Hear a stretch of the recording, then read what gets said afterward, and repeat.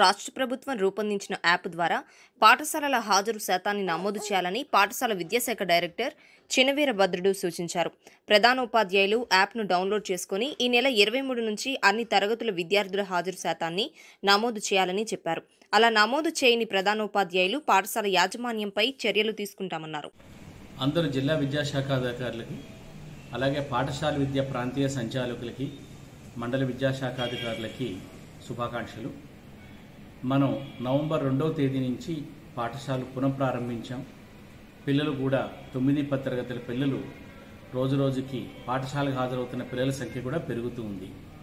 అయితే ఈ పాఠశాలలు మనం మరి ఇరవై మూడవ తేదీ నుంచి ఆరో తరగతి ఏడో తరగతి ఎనిమిదో తరగతి ఓపెన్ చేయడానికి అలాగే డిసెంబర్ పద్నాలుగు నుంచి ప్రాథమిక పాఠశాల ఓపెన్ చేయడానికి మనం మరి ముందస్తు ప్రయత్నాలు చేయవలసి ఉంది.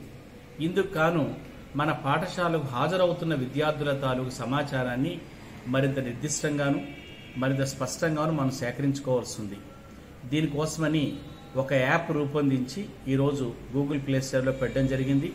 ఆ యాప్ వివరాలు కూడా ఇప్పటికే మీకు వాట్సాప్ మెసేజ్ ద్వారా అలాగే సర్క్యులర్ రూపంలో పంపడం జరిగింది.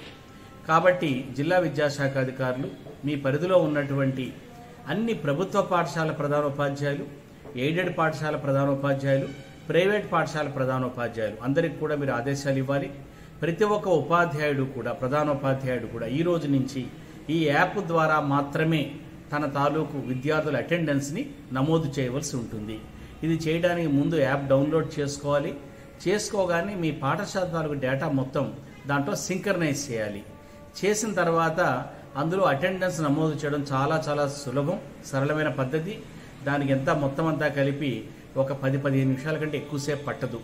ఈ సమాచారం నిర్దిష్టంగా మరి స్పష్టంగా ఎప్పటికప్పుడు వచ్చినట్లయితే మనం విద్యా సంవత్సరాన్ని మరింత మెరుగు మెరుగైన పద్ధతిలో వినియోగించడానికి వీలవుతుంది. మరి ఏ ప్రధానోపాధ్యాయుడైనా ఈ యాప్ని వినియోగించకుండా అటెండెన్స్ పంపకపోయినట్లయితే తప్పనిసరిగా అతనికి మీరు నోటీస్ ఇవ్వాలి. అతను కానీ ఆ యాప్ని వినియోగించకుండా ఉన్నట్లయితే చర్య తీసుకోవాలి. అదే ప్రైవేటు పాఠశాల యాజమాన్యం అయితే ఎయిడెడ్ పాఠశాల అయితే ఆ యాజమాన్యాల మీద ఎటువంటి కొయ్యస్సు మెజర్స్ తీసుకోవడానికైనా సరే మీరు వెనకాడకండి. ఎందుకంటే పాఠశాల ప్రధానోపాధ్యాయులు సమాచారం పంపడం అనేది వాళ్ళ తాలూకు ప్రధానమైన బాధ్యత. దీనిలో ఈ సమాచారం పంపడం మొదలుపెట్టిన తర్వాత మరి ఇదే పాఠశాలలు రేపు ఇరవై మూడో తేదీ నుంచి ఆరు ఏడు ఎనిమిది తరగతుల తాలూకు ఆ పిల్లలు బడికి రావడం మొదలు పెడితే దానికి సంబంధించినటువంటి ప్రణాళిక కూడా ఏ విధంగా రూపొందించుకుంటున్నారో దానికి సంబంధించిన ఆదేశాలు కూడా మేము మరి ఈరోజు రేపట్లో ఇవ్వనున్నాం. దాని నుంచి మరొకసారి మీ ముందుకు నేను రానున్నాను. మరి ఈ కార్యక్రమంలో మీరందరూ కూడా పూర్తిగా భాగస్వాములై విజయవంతం చేస్తారని ఆశిస్తూ ఇట్లు మీ